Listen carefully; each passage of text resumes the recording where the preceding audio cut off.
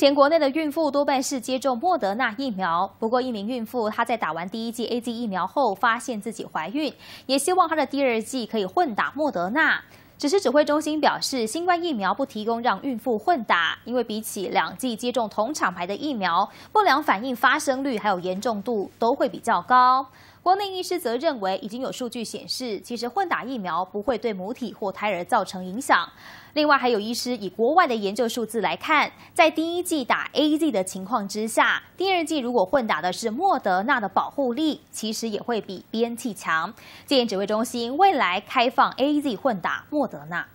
第十三期疫苗预约尽管还没开放混打，但指挥官陈世忠说，十一月还是有机会开放。现在有一名新手妈妈，她在七月时接种完 A Z 疫苗后，才发现自己怀孕。由于目前国内孕妇族群多是以接种莫德纳疫苗为主，因此这名孕妇希望医院让她第二季混打莫德纳。如果接下来十一月开放混打后，她是否可以混打不同厂牌的疫苗呢？我们会跟她解释跟说明，认为还是应该维持跟第一季同样的疫苗，这样对她的安全性。会比较安全。孕妇最担心的是血栓可能会造成流产或者是其他的问题，可以换打一个莫德纳或者是 B N T，我想这都是可以的做法啊。医界中正反两种意见都有，日前指挥中心也没有相关规范，直到十月二十八号发出公告提醒，新冠疫苗不提供孕妇混打，主要就是因为根据其他疫苗的临床试验发现，第一剂接种 A Z，第二剂再接种 m R N A 的疫苗，比起两剂接种同一厂牌的疫苗，不良反应发生率和严重度都比较高。也有医师办出医学期刊《刺哥针》的报道，指出以第一季都打 A Z 疫苗来测试，